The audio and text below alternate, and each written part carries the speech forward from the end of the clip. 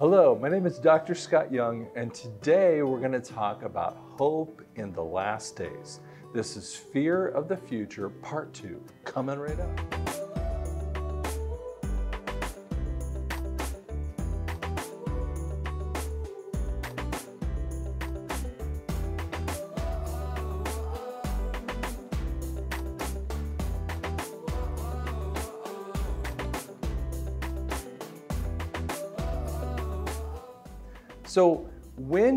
Have fear, it drives you.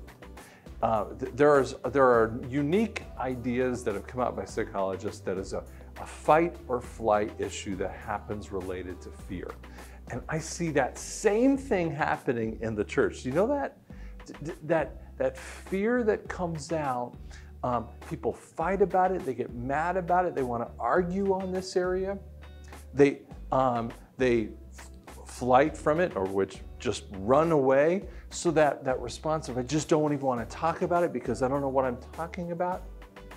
And then there's the discounting people too. They, they just want to and that's a part of the fight you know they, they discount it.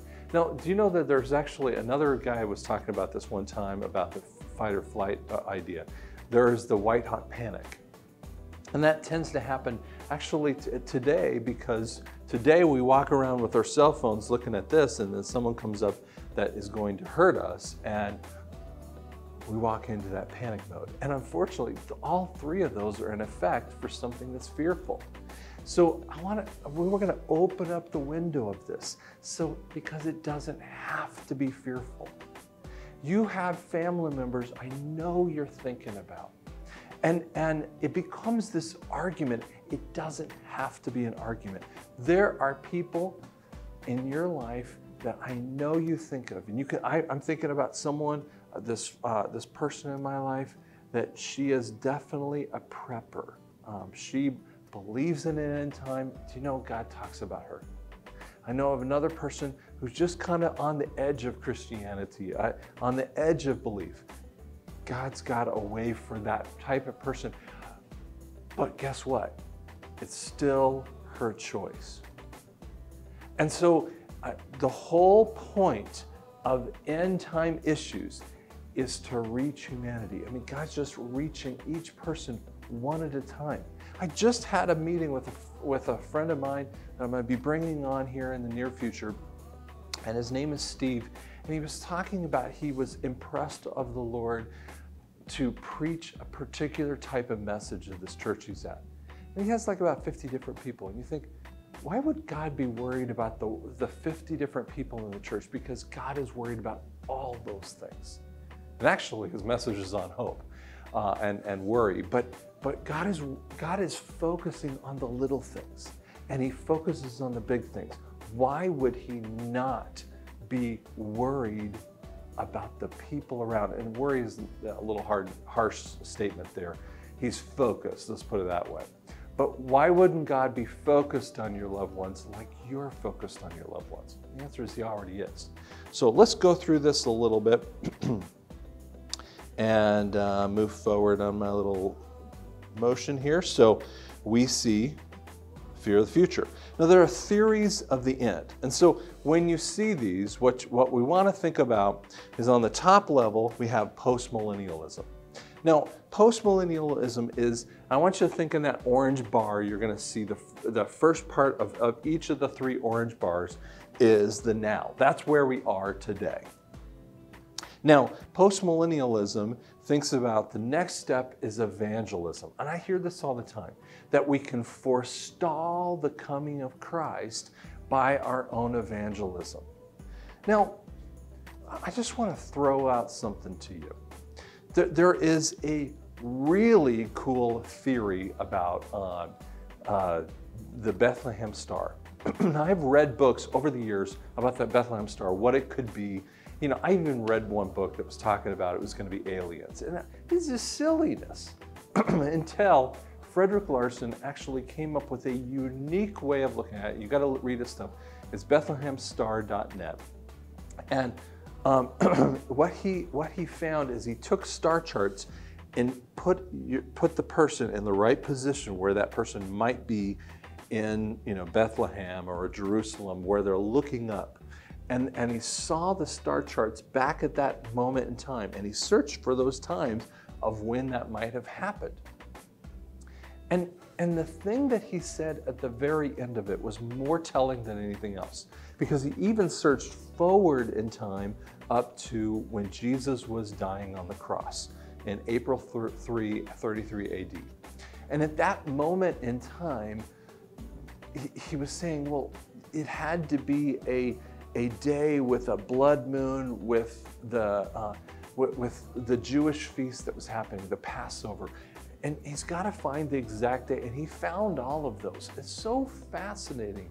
And his statement was, is that God had to set up from eternity, from the beginning of time, knowing that this point in time for Jesus' first coming had to be exactly fulfilled. Now, as I said to you before, the Old Testament, if you might have heard this, but the Old Testament is the New Testament concealed, and the New Testament is the Old Testament revealed. Jesus fulfills hundreds of prophecies about his first coming. God foresaw it and implanted his son, who is also God too. That's the Trinity conversation, right? So if, if we believe that as, as believers in Christ, we know that he foresaw an exact moment in time that he would do that. An exact moment in time when he would go get the donkeys uh, uh to, to come into to Jerusalem. I mean, all these things. Why, why would he focus on that? And we, as the church, could actually change things you see, that's the idea, is that we have, we believe that evangelism, that's what these postmillennials view, viewpoint is, is that they could have evangelism that comes in and that they could forestall the coming of Christ. And then the thousand year reign happens, and this is where they come up with this.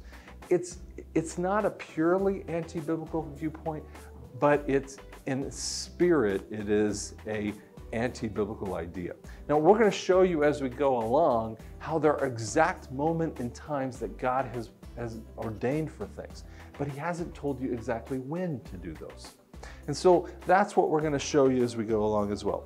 So amillennialism is it's spun in and out of uh, existence over the years. So we work from the now, then we don't basically have a tribulation. Most of these people don't really believe in a tribulation period.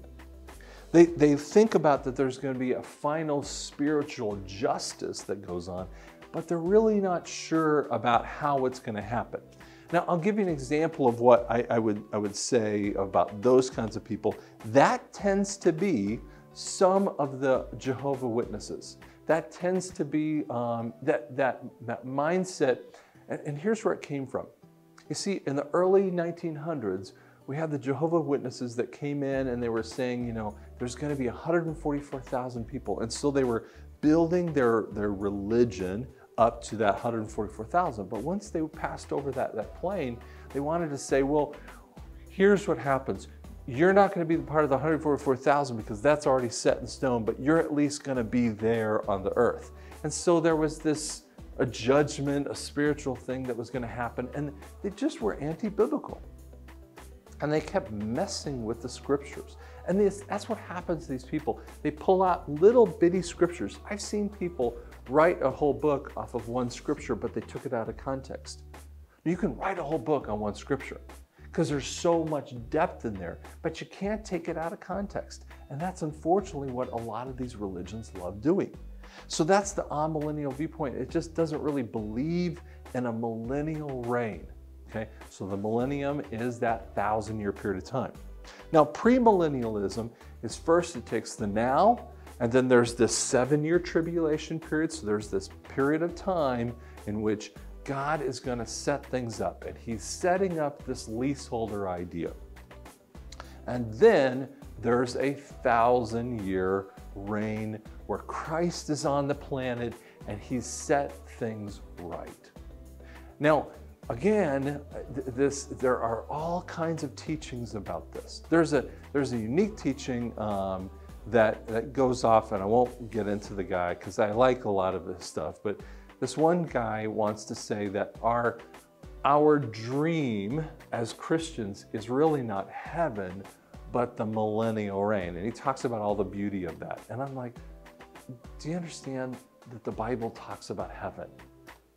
Jesus in, in, in uh, Matthew 5 and Matthew 6, he says, How shall I explain what heaven's really like? And you can almost see him going, How shall I explain? Let me give you an idea because it, it's hard for, he uses all these metaphors. You know, when people use metaphors, it's, it's because it's too hard to explain with the, with the, the verbal word. That's what Jesus was doing. So he used all kinds of pictures for people to understand it. But it was important to him to explain to us. Why aren't we thinking that same way too? Okay, so let's do that overview um, in this. And so you're gonna see it on the left side of the screen here. And on the right side, I'm just gonna kind of draw out a couple things that we look at. So we have the thousand year reign of, I mean, or excuse me, the seven year period of time. It's separated in the half of it, okay? So there's a first half and a second half of the seven year tribulation period. There is the rapture of the church. And again, we'll talk a lot more about what that really is about. And then we'll talk about the Ezekiel 38 and 39 war. Now, I've had people that have asked me to do a, uh, an organizational chart, or excuse me, a timeline. On, and, and I actually have one. It's over on, on the side over here. And it's something that you can ask for uh, from me. You can call, email me at drscott at and I can get you one of those with that too. But they've asked me which one do you think comes first before the tribulation? And we'll talk about why I think each one of these are obviously before the tribulation. And, and, and I will tell you this, I've had uh, the pre-tribulation rapture first and then the, the uh, Ezekiel 38 and 39 war second. And then I've had it, you know, this way. I don't know which one happens first. I can see arguments for both way, but guess what? If God doesn't tell you, then it's not something that you need to worry about. That again is why I don't spend a lot of time thinking about the when. I also don't always spend much time on the house. And you go, why don't you spend time on that? Why isn't that important to you? Because God didn't tell me. I'm not just talking about me. He didn't tell the world through the word. But he does talk about the whys. He talks about the who. Those are very important to the Lord. So therefore, that's what we should be spending time on. Does that make sense? Now, what you have to also see is that at the rapture of the church, there are now, there's, there's a lot of story. We'll talk about this and we'll go a lot more depth, but, but let me just give you an idea. Do you know that there's a, as many as maybe 700 million Christians in the world? You know, oh, I don't agree with that. There's got to be a billion Christians. And other people would say, no, maybe more like 300 million. But let me just tell you how I get the stat, okay? Barna Research, B A R N A, is, is a really unique set of research. It's out of California. This group puts together some great stuff that you ought to be looking at. And they actually asked, they asked this question in different ways and they came into the churches.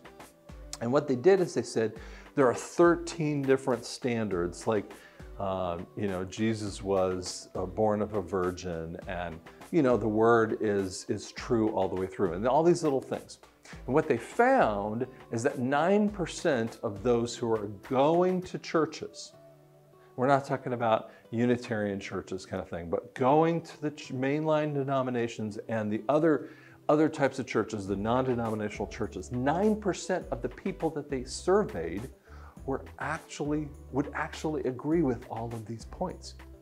And I remember when I first heard this, I was like, you gotta be kidding me. But that's what's happened in today. So if there are 7 billion people on the planet-ish, just to do, um, for a math challenge boy like me, we're gonna say 700 million people. Now, again, even if you disagreed with that number and you think it's 300 million, I want to show you how powerful that number really is. So, when we think about 700 million people, no matter how you, how you uh, stack that puppy up,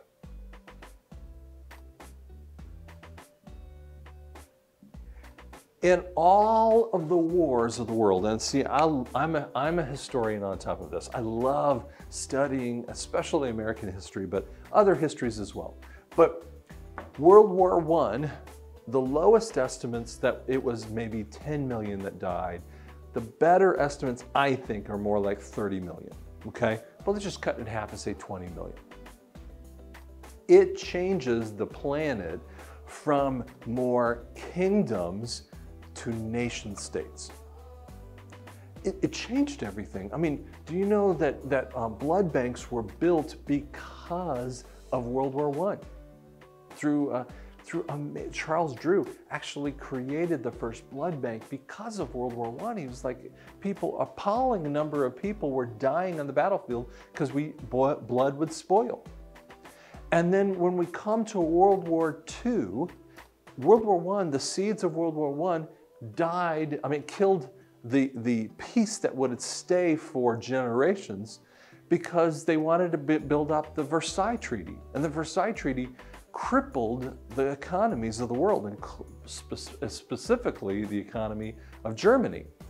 And so that dissatisfaction created the seeds for World War II. So World War II is 1932. If you think about Mongolia um, being invaded by Japan, and China coming in around 36, 37.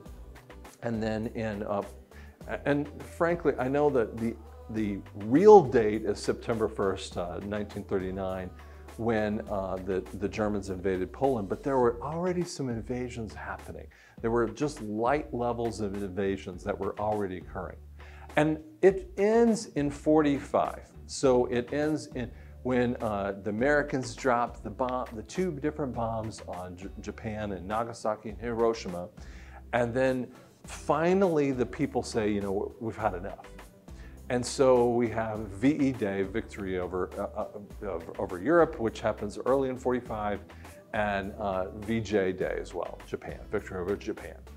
But what, what occurs is that we have as many as 50 to 70 million people that die again, a pittance of the number we're talking about here.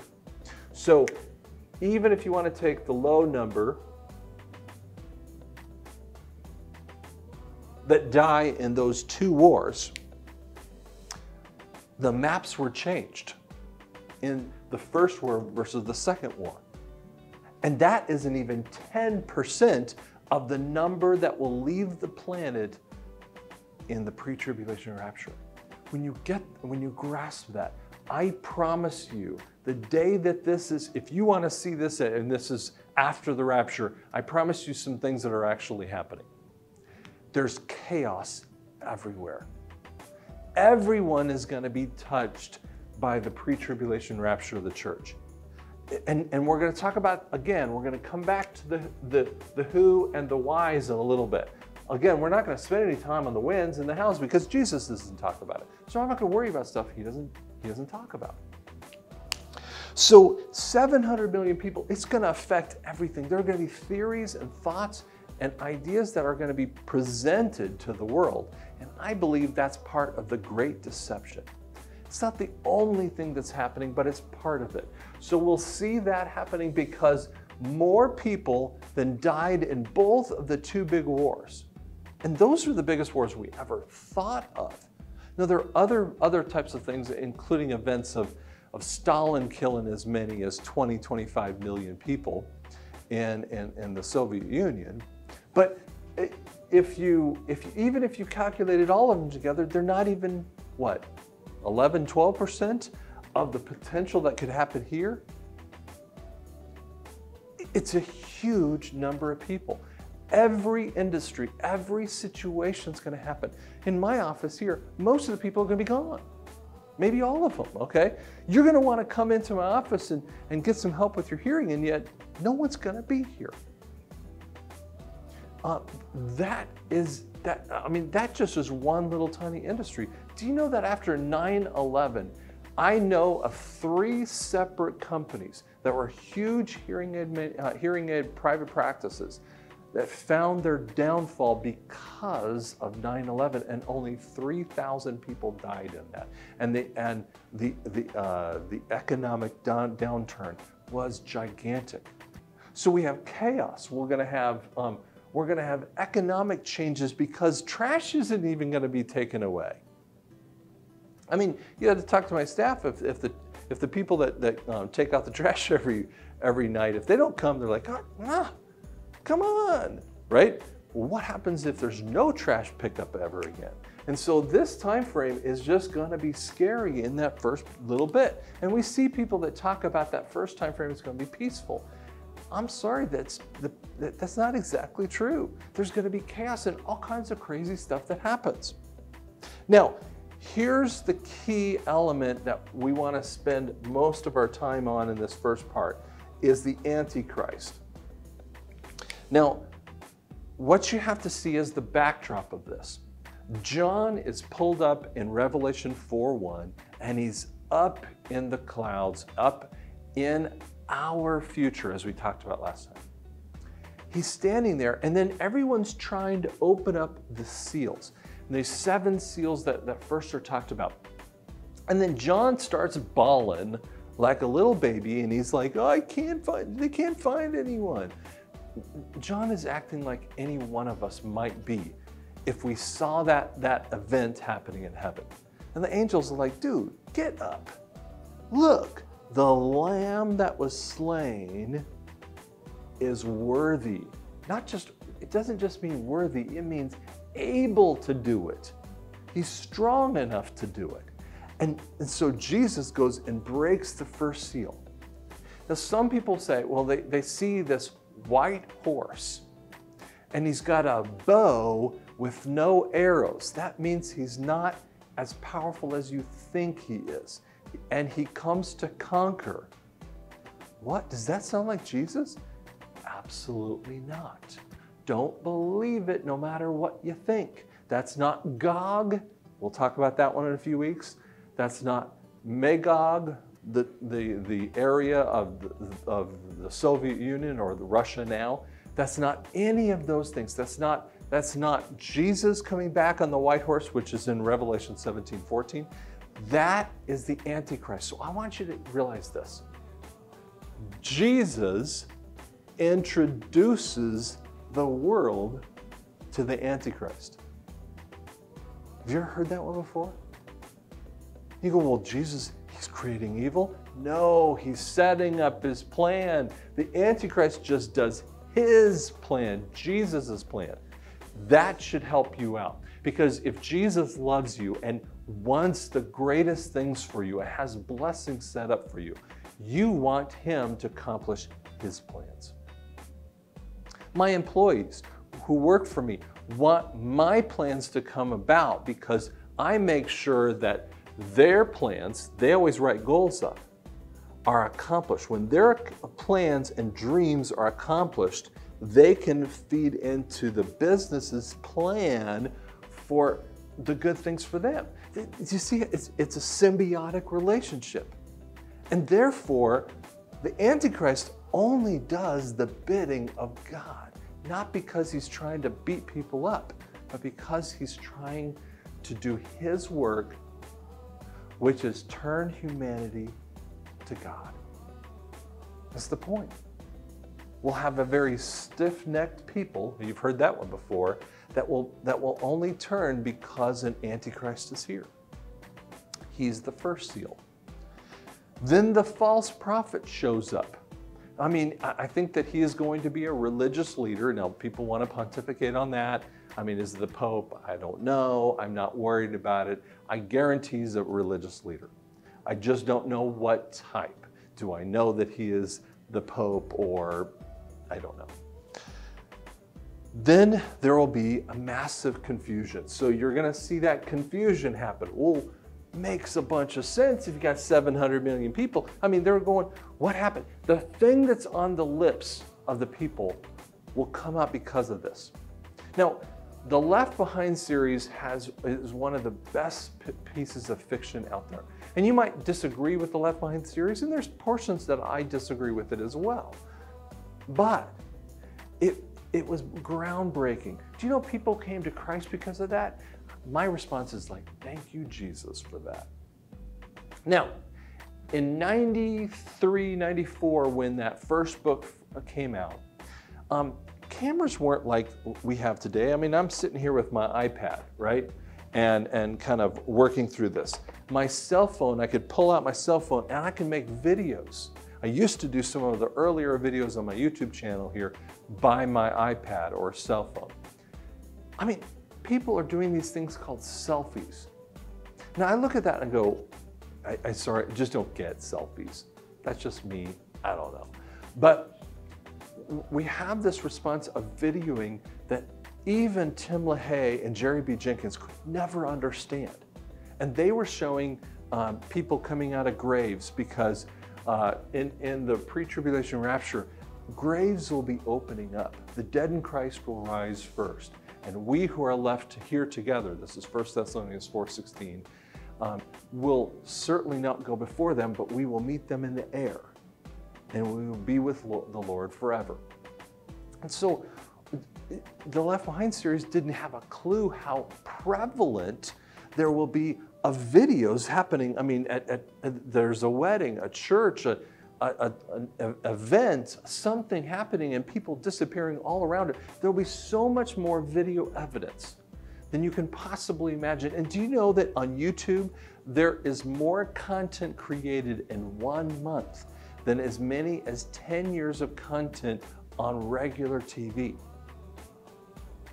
Do you think that there might be confusion? Do you think that the Antichrist wants to believe that it's the rapture of the church? And so they're going to fight against each other over just these kinds of messages. Now, what comes out in this first period of time is a unique set of people called the 144,000 Jews. Now, these are young Jewish men. You'll see that in Revelation 14 and Revelation 7. Revelation 7 introduces them, but Revelation 14 explains them in, in heaven. And we'll get into that, that variation there. But these are young Jewish men who have never had sex with a woman. Really important, okay? Now, here's where the Left Behind series messed this up. Uh, Tsion Ben Judah, one of their leaders of that, is a married man who his family gets killed and, and children get killed. Well, wait a second, you can't have kids. See, that's where it gets a little messy, okay? And, and I pick what the Bible says about this. So I don't want to go off and my own viewpoints of that. They will have the greatest evangel evangelism of eternity. And there is a group of people I call the chosen. You might call saints that will come to Christ in this time frame. And, and some of you have heard, no one's going to come to Jesus in this time frame because you might have heard in first um, Second Thessalonians 2, 1 through 10, that the Holy Spirit is taken out of the earth. Well, of course the Holy Spirit's taken out of the earth when the when because he's inside of me. But clearly, not just like a little bit, but clearly people come to Christ in this time frame. And therefore, they can't have Christ in that or come to Christ or have that new revelation of that without the Holy Spirit. So guess what? He is gone for a millisecond or however long it takes before these 144,000 people get out there and they come to Christ and they, they have a unique thing. So these people do a, a, work that is a massive work, and that's the evangelism that most people don't want, want, want to understand. That's what the Gospels are spending most of their time on. Does, there, does that not mean that we shouldn't have evangelism? You betcha. You betcha. But the evangelism that will happen here is fascinating. So that's when we get to the chosen believers. Now, in the first half, There's going to be famine, war, inflation, a one world government, a one world religion. There's a one world currency, and we already see the seeds of that. We'll talk about that a little bit later. And so, guess what? This is going to be chaos. I mean, just levels of craziness that you can't possibly imagine. You think it's going to be peaceful? Well, you lose 700 million people, you tell me how peaceful it could possibly be in this world. Now, we hit to the middle portion of the tribulation, and people go, Why do you pull the middle portion out there? Well, because again, it's from Daniel 9.27. And in Daniel 9.27, in that middle part, he says, There's, there is a, a covenant that's set up with Israel, with many. And uh, some people believe that it's the, the temple. It, it could be a million things that are happening, but it's basically a peace treaty. But he breaks the peace treaty here. And so he goes into the temple, the Antichrist, goes into the temple and causes abomination. Uh, uh, it's this thing called abomination, which causes desolation. We'll, we'll explain that one too. So, and it sets up a really bad period of time where this is the real hell. There is so much hell on earth that happens because of that. Now, so we have, we'll talk about how these aren't even here in this time frame. And then we have this new group of people that are, is the two witnesses. And then we have this interesting viewpoint of, excuse me, of the angel of the Lord. Sorry, let me write that better.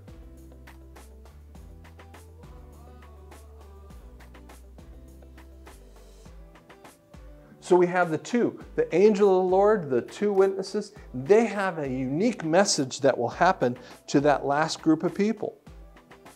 The Antichrist will die here in the temple and raise, raise himself. It's crazy stuff that happens. The mark, the beast will happen and it'll be here, but it will be required at this point. And the Jews, the rest of the Jews, not these ones, but the rest of the Jews will run to the hills in the second half of this time frame, one of the things you have to see is the seals, seals start here. The trumpets start about here. And the bowls happen about here. But one of the things that I very much disagree when you look at this, and we will get into this, is the seals actually happen all the way throughout. The trumpets start here, and the bowls happen here because there is a concurrent set of events that will happen at this last phase of the time frame. And we'll, we'll go over that as well. So the seals, the trumpets, everything gets worse. There'll be death and a massive global war that 2 billion people around will die. There will be there will be some of the most disgusting things that you can't possibly imagine. Your worst nightmare, the worst horror movie, will not even get close to it. See, some people believe that they can make it, they can survive through this whole time frame. We'll talk about those as well. And then the, the two witnesses leave, the, the, the groups, um, they, you know, there's all kinds of things that happen related to that. And then Jesus returns at this point here. And this is when he is in the clouds.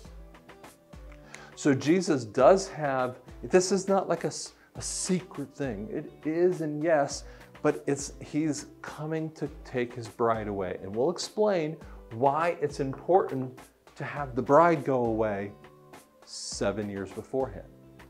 We'll, we'll explain why he comes in the clouds. We'll explain in the millennial reign why he steps on the planet. So then we have the next step of this. So I'm going to kind of erase the board here so you're seeing it on that right side of the screen, or excuse me, left side of the screen.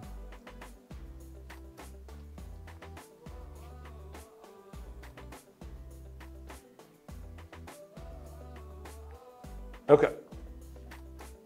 So we see the separation of the sheep and, goats. And so The millennial reign is basically cut up into three basic segments, okay? So there's this first 45 days that you have to see. It's, it's really interesting. It's from Daniel um, uh, 12, 11, and 12. And it says, you know, the, the person that makes it to 1335 days is very blessed. And it's, this is the part of the separation of the sheep and the goats. We will talk a lot about that. I actually have a book about the sheep, the goat, and the brides, uh, the bride, and it is fascinating when you see those groups of people. That's the who that we've been talking about. The who is what God's, God's interested in. And there will be also a resurrection of all the rest of the people. Then the nations, which I call the sheep,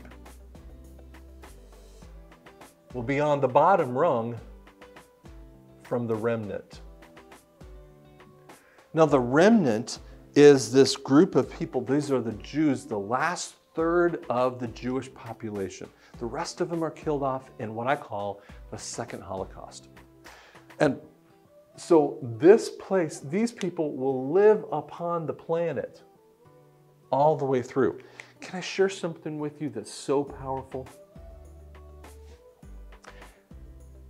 Abraham was told, if you, if you read in Genesis, Abraham was told that his seed would be deeper than the sands of the seashore. Now just think about a seashore, if you've ever been by the sea, and you think about his seed, that's the remnant. That is billions upon billions, let's use Carl Sagan, in that one, but billions upon billions of believers who not that's not just that's not just Christians. That are that's the Jewish elect in, in, in some sense, some sense of that. That there will be billions of people. Do you know that Abraham was seeing forward in faith in, in Hebrews 11 to this group of people, his progeny? That's really what was happening. They will be the dominant of, of the race over the sheep nations. And that talks about through, through Ezekiel. They will live in a thousand years of peace, and there's a very strong reason we will get into that. Then there is a rebellion.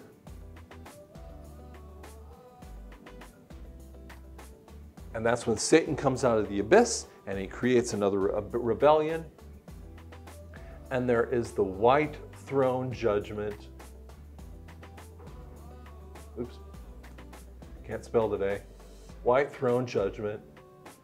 And then we have the last resurrection. So the resurrection that I would say, the very last one is for the sheep and the remnant. And then we have the bride and the rest of the people that are in eternity. Why do you think I'm talking about hope? That doesn't sound like a hopeful message. Okay. Do you know that in Revelation 21 and a little bit in Revelation 22, that your destiny is to be in the temple, the Holy of Holies platform, in which you are the glory of the temple. Do you catch that? You know, we always think, well, isn't Jesus the glory of the temple? Of course he is. But our destiny, your final destiny, the remnant, the sheep, the, all the people that will make it through this tribulation, and the people that will be in that pre tribulation rapture stuff. And we'll talk all about that stuff. The final hope, the final destiny is a crazy vision that God has to reconcile all people to Him. And He puts them in the temple. That's your final point. My final point isn't to live through the, the, the millennial reign. My final point is to make, just survive through the tribulation. That's not, that's not my point. That's not my dream. It's because my dreams are what Jesus' dreams for me, because the word tells me that. If you want to go deeper in this, we're going to do a lot more depth in here. You can subscribe on the bottom of the screen. I promise you, there's so many cool things we're going to talk about. We will talk next about the uh, the Ezekiel 38 and 39 war. It's a really powerful set of information that gives that actually shows you, give you this point.